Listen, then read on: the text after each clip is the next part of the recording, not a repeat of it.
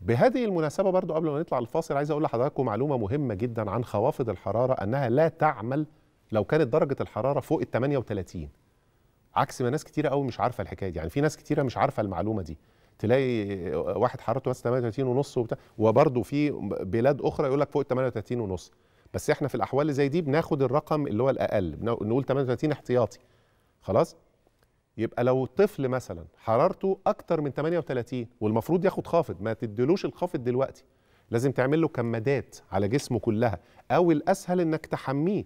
تحموا الطفل بمية فترة مش هيحصل أي حاجة. بالعكس الحمام بقى لما ياخد حمام بمية فترة كده بس بلاش المية الساقعة. أنا بقول مية فترة أهو مية فترة أو مية دافئة. يعني دافئة بلاش فترة احسن تتفهم غلط.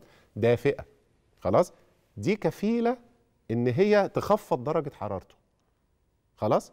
بتتخفض درجة الحرارة شوية ما تقيسش بقى خلاص. ادي بقى الخافض على طول. إنما لما نقيس الح... عشان كده دايما نقول للناس إيه؟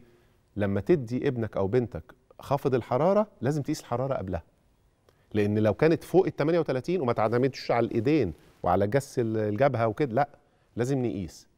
لو كانت فوق ال 38 خافض الحرارة ده مش هيشتغل.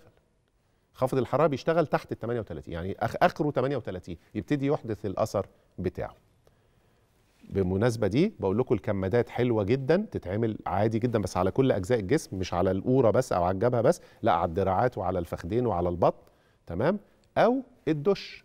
وبمناسبة الكمادات ممنوع إن إحنا نستخدم كمادات الكحول يعني ما نحطش الكمادات دي في كحول كده ونقعد نقول هنعملها كده على الجسم. ليه؟ لأن الكحول ده هو السائل هو المية هي اللي بتطلع البخار أصلا فإحنا عايزين بس يبقى في مية في الموضوع.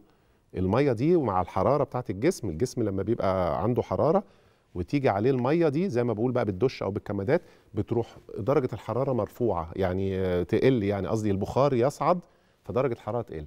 درجة الحرارة ممكن تقل لغاية 25% أنتوا فاهمين فاهمين قصدي؟ يعني حاجة فعالة جدا. بعد كده ندي الدواء.